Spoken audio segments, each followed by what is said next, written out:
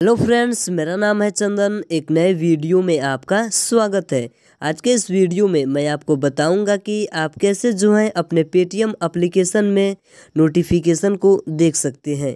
जी हाँ दोस्तों, आज के इस वीडियो में आप यह जान पाएँगे कि आपके पेटीएम एप्लीकेशन में जो भी नोटिफिकेशन आता है, आप कैसे जो है अपने पेटीएम एप्लीकेशन से ही उसे देख पाएँगे।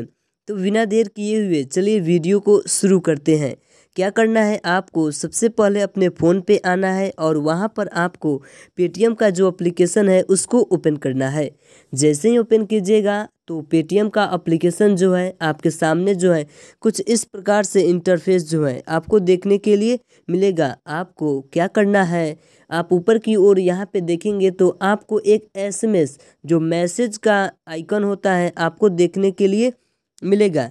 ऐसे तो पेटीएम में नोटिफिकेशन को देखना बिल्कुल आसान है, लेकिन बहुत से ऐसे लोग हैं जिनको नोटिफिकेशन देखना नहीं आता है। तो डोंट वेरी इस वीडियो को देखने के बाद जो है, आप जो है पेटीएम के द्वारा कोई भी नोटिफिकेशन जो है, यदि आपको मिलता है तो आप, यदि उसे नहीं देख पा रहे हैं तो अब आप देख लेंगे। तो चलिए ये सभी आउटसाइड की बात है। तो यहाँ पे आप ऊपर की ओर आपको मैसेज का आइकन दिखेगा। आपको सिंपल नहीं, उस वाले आइकन पे क्लिक करना है। और जैसे ही आप आप उस पर क्लिक कीजिएगा तो आपको जस्ट यहाँ पे नीचे में नोटिफिकेशन आपको देखने के लिए मिल जाएगा। क्या करना है? आपको सिंपल है इस नोटिफिकेशन वाले आइकन पे बटन जो है, आप उस पर क्लिक करें। और जैसे ही क्लिक कीजिएगा तो आपके सामने जो है, आपका नोटिफिकेशन जो है, यहाँ पे आप जो है देख सकते हैं।